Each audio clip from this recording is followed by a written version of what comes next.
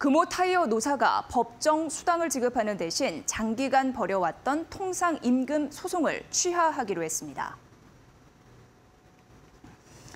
금호 타이어는 오늘 노사가 현재 진행 중인 모든 소송을 취하하고 전 현직 사원 3천여 명에 2년 5개월번의 법정 수당을 지급하는 데 잠정 합의했다고 밝혔습니다. 노조는 12일부터 13일 찬반 투표를 거쳐 다음 주 회사 측과 합의서를 작성할 예정입니다. 노조는 추산한 법정 수당을 고려하면 회사 부담 금액은 1,400억 원에서 1,500억 원 정도로 예상된다는 설명입니다.